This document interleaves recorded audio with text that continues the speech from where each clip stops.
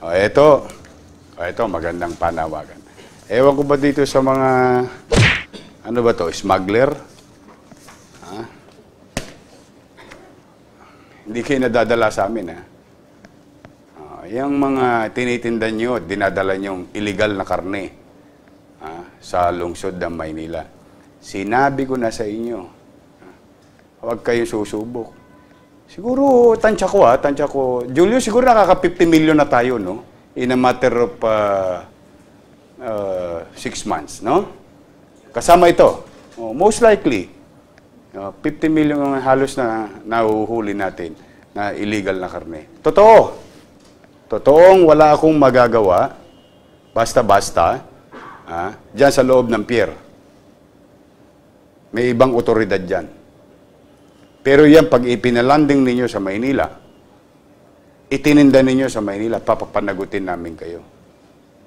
Ah, dahil ah, our job is to protect the interest of the public.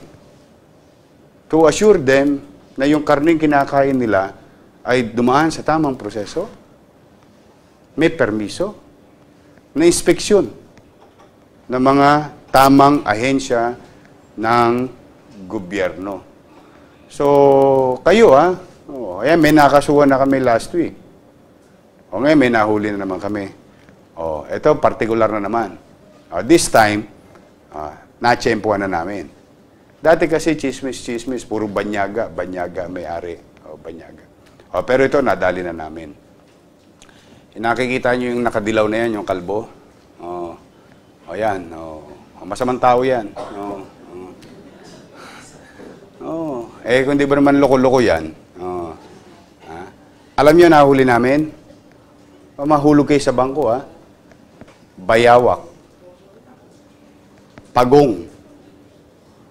Mga rare, mga talagang mahigpit na pinagbabawal na ano. Oh, talagang ano ho yan. ah, mahigpit ho ang ano dyan. Hindi lang ho ang Pilipinas, kundi ang buong mundo.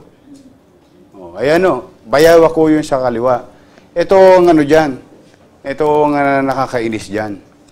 Eh, Yung nagtatanga-tangahan. Ha? Yung dalawa, oh, Pilipino. Yung isa, ah, Banyaga. Oh, Banyaga siya.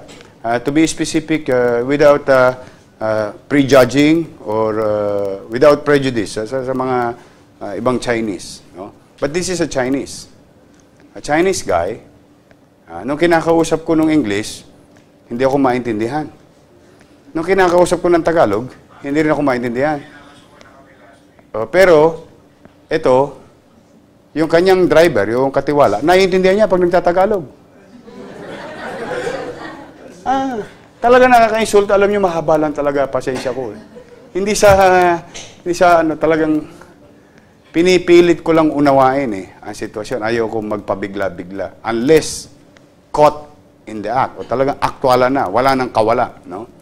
O sabi ko sa kanya, are you Chinese? Uh, so, hindi sumasagot. Sabi no, Chinese ka daw. Oo. Sabi, oh, oh, oh. ah, talaga, sabi ko. Tayo, you go to jail. Oh. Wala na naman. Hmm, Dead man naman. Oh, kinalabit na naman yan, no, nung driver. Ikaw daw kulong. Oh, naintindihan na naman. Oh, sabi ko, oh, ma- ikaw makukulong. Oh, oh, sabi, gusto ko sana sabihin, alam mo, sa totoo lang, eh, seryosong bagay yan. Pero sa totoo, gusto ko sabihin sa kanya, doon sa Chinese, ikaw Tarzan, hari kagubatan.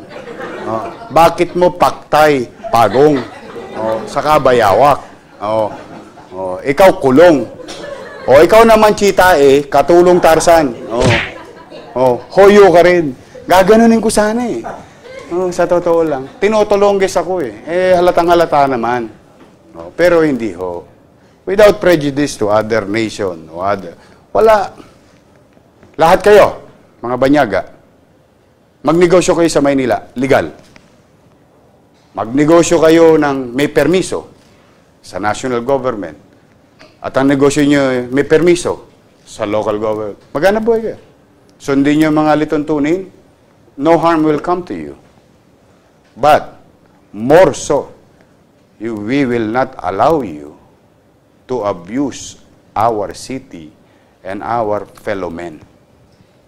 Kayo ang makibagay sa amin, hindi kami ang makikibagay sa inyo. Dumayo lang kayo rito, sundin ninyo ang mga pinatutupad na lituntunin ng aming bansa at ng aming syudad. Katulad ng paggalang namin sa inyo kapag kami dumako sa inyong bansa. Hindi po pwede yan, oh. O sabi ko, ikaw kulong. Si Tarzan, o hari kagubatan. Siya paktay pagong. Oh, paktay ka rin ngayon. Hoyo ka. Oh, kasi sinagsasabi na ako eh. Arestuin, lahat ang arestuin. Oh. Yan, naawa naman ako doon sa lawang Pinoy, but I cannot do anything about it. Eh, alam nilang mali, o, hindi pa nila isinusuplong sa alagad ng batas. Di ba? Hindi kayo pwede magari. Kahit gano. Even though how powerful your country, you cannot mess with our city. I will not allow you. Get out of the city. No amount of superpower, immaterial of your uh, uh, anong bansa ka, don't. Please don't. May kalalagyan kayo sa Maynila. I will not allow it. No abuse will come to our fellow men, and particularly in our city, sa mga batang Maynila. O, kaya panawagan ko ulit. Bakit pa ha, uh, gustong-gusto ninyo nag smuggle ng mga hot meat? Pwede naman kayong pumarehas. O eh, huwag kayong magkamali. Yung ibang kinakain yung chicken, imported yun. Ah, yung mga ah, nabibili sa mga uh, food chain, food chain, ibang baboy, chicharon. O eh bakit nakapapasok dito ng legal? O, ng tama. O, kasi sila nagpapasiyasat. Kasi sila walang masamang intensyon kundi maghanap buhay lang. Kaya ito may masamang intensyon eh. Bakit? Every mo, patay mo, pagong, eh, bawal yun. O, mga exotic yan, bayawak. O, ayan o, bayawak ko yun, nasa Wakali. Kawawang pagong, oh. harmless na harmless ang pagong.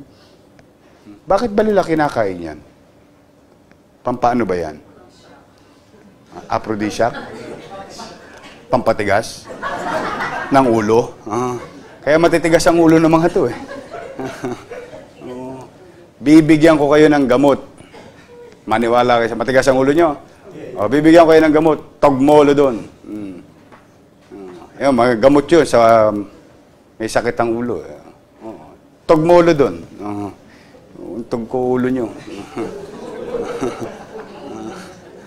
Wag. Hindi, ho, eh, hindi naman tayo lalabag sa batas. Pero, uh, don't take us lightly. We may laugh, we may get angry, compassionate, but there is certainty in Manila. No. Uh, ayan, 15 million yan, worth. Eh, binigay natin sa DA, uh, ipinalam natin sa National. Ayan, si Chitae. Oh. Si Tarzan yun nasa Wakali. Oh. Siya si, ayan na, sabi ko, ikaw kulong. Oh. Ayan, ayan. Yeah, I'm trying to explain it to him. Oh, yan. Ah. Hindi niya ako maintindihan. Tingnan mo, oh. tulonggis talaga. Oh. Tinutulonggis ako. Pag siya kinakausap ko, hindi ako, oh, da, oh, tapos lilingon naman kay Chita eh. Oh, oh. Oh, yan, oh. See? Tinagalog ko, tinagalog din ni Chita eh. Kay Chita eh, naintindihan niya. Ah.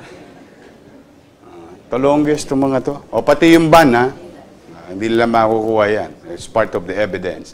Ah, thank you very much, ha, Dr. Santos, ah, at sa lahat ng ating mga kawani ng BIB. Maraming maraming salamat sa inyo.